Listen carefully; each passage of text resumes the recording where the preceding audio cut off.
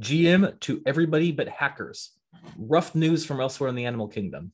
BadgerDAO, the most popular destination for wrapped Bitcoin yield on Ethereum, suffered an existential level hack.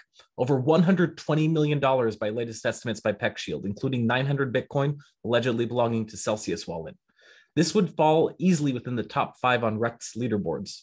The issue appears to be a compromised user interface. Somebody managed to insert a malicious script into the front end that had been redirecting approvals to an exploit address for some time.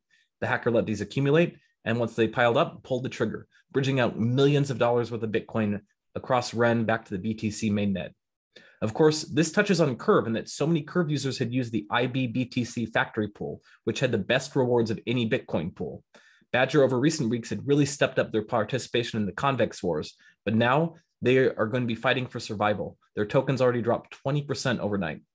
How can the casual ape protect themselves against such exploits?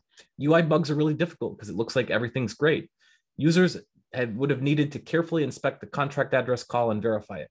So whenever you're able to run the transaction through Brownie, you're much better off. You can simulate it ahead of time using a forked mainnet. And if everything looks good, if everything passes your tests, you can feel a lot more comfortable running it. Stay safe out there, llamas.